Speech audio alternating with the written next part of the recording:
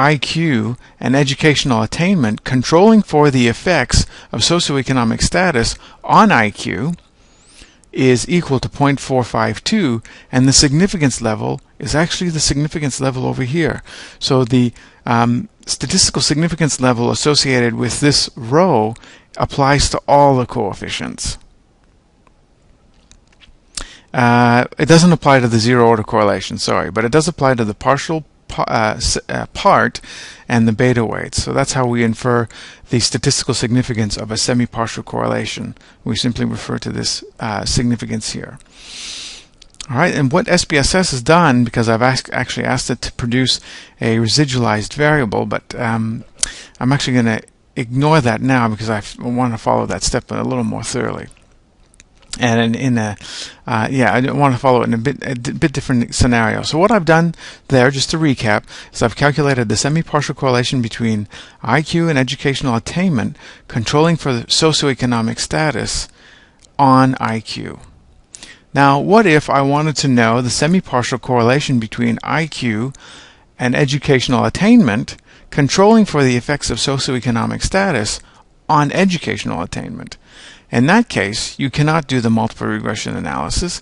What you're left with doing is doing a regression and residualizing the education variable from the effects of socioeconomic status in its own step. And how do you do that? The same way that I did it in the partial correlation video. You go into regression, linear, and now take IQ out. So I'm going to regress educational attainment on socioeconomic status, and I'm going to save those as unstandardized residuals. All right, it doesn't matter which ones you which ones you choose. I'm choosing unstandardized. Click OK. What's going to happen is I'm going to get a variable called educational attainment that is uh, in, independent of the effects of socioeconomic status. Click OK. All right, so it's produced this residual variable, and I'm going to call that educational attainment residual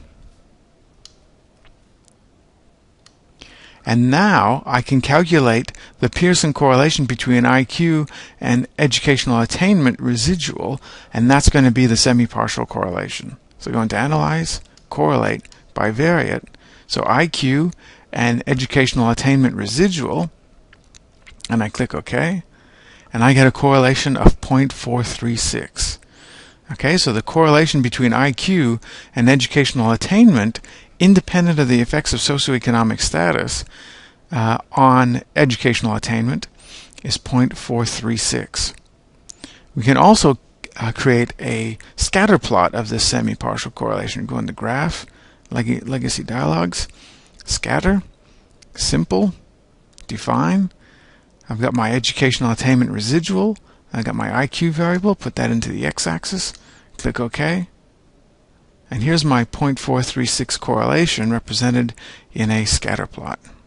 And that's the bonus, that's the benefit of doing semi-partial correlations with residualized variables rather than going into the uh, multiple regression analysis. But I guess the benefit of going through the multiple regression analysis is that you get a p-value that's actually accurate. I will note that this Pearson correlation, the p-value is very significant, and it would still be significant, but there's one degree of freedom that's uh, being added to this analysis that actually should be stripped away.